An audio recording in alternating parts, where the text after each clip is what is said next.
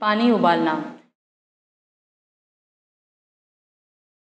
पीने के पानी को उबालने से पहले बर्तन साफ़ पानी से धोए।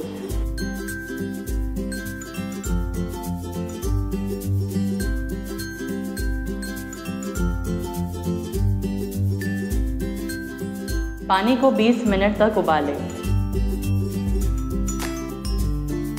उबले हुए पानी को ठंडा करके बर्तन में भर के रखें।